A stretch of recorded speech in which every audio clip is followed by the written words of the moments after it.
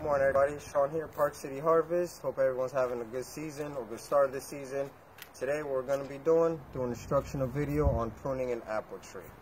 Uh, when you're pruning your apple tree, you do want to do it when the tree is fully dormant. So you want to wait till mid to late winter to make sure that's going on. And uh, what we're going to be doing when we're pruning is we're going to be taking out anything that is dead, diseased, dying, or that's actually growing back into the tree. Uh, a lot of things we're going to be taking off as well are any branches that's going to cause too much shade. So as you see here, we're going to take some of these off. And you want to make sure your pruners are clean, make sure they are sterile, and make sure that they are sharp as well. For the moment, we'll just toss the branches to the side. We'll make sure we clean those up, keep anything from around it as well.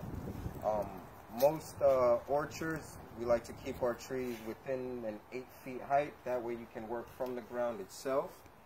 And what you're going to do is all your fruits are going to be borne on horizontal branches.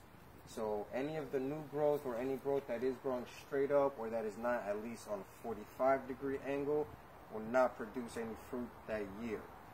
So if there are some that you want to keep, just to keep the tree growing in the direct, uh, specific direction you want, you may keep those. What you're going to want to do though is any of the buds that look like they're growing in a direction where they may cause any type of shade to any under branches at all, such as this one here.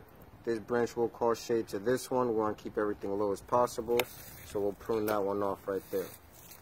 And if you are a, a, propagator as well, one thing that you can do with your apple trees when you are pruning them is you're going to notice all of these new shoots coming up from the bottom and the base of the tree.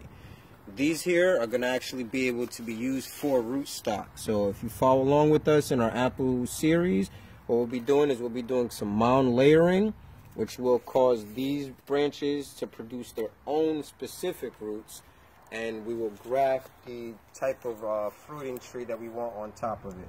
So stay tuned. We'll keep you in tune with everything about that. And happy pruning to everybody and keep it green.